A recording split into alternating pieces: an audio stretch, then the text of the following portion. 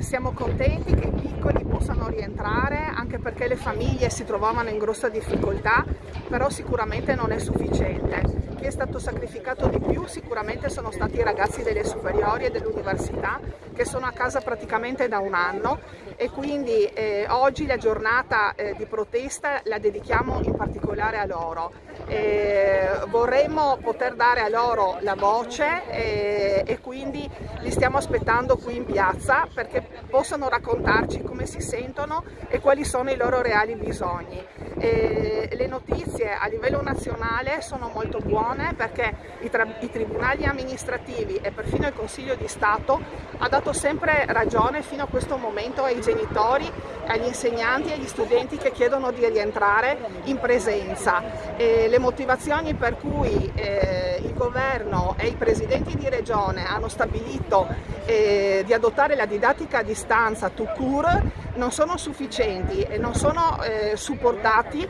da evidenze scientifiche che vengono da adesso in poi richieste eh, in modo puntuale.